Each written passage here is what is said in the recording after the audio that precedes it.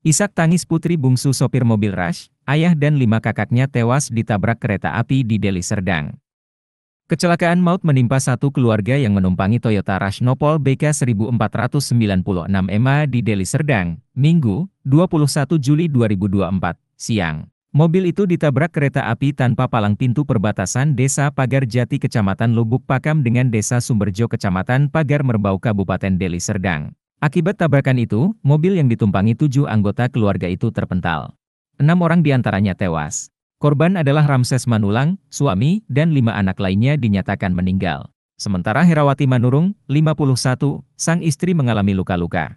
Dalam peristiwa itu, anak Bungu Ramses dan Herawati, Setia Manulang 14 tahun selamat. Dia tidak ikut dalam perjalanan mobil ke kota Medan itu.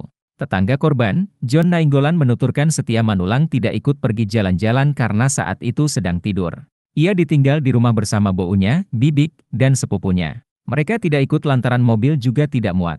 Saat jasad korban sampai di rumah, tangisan Setia Manulang, 14, anak bungsu korban yang saat itu terdengar paling kencang.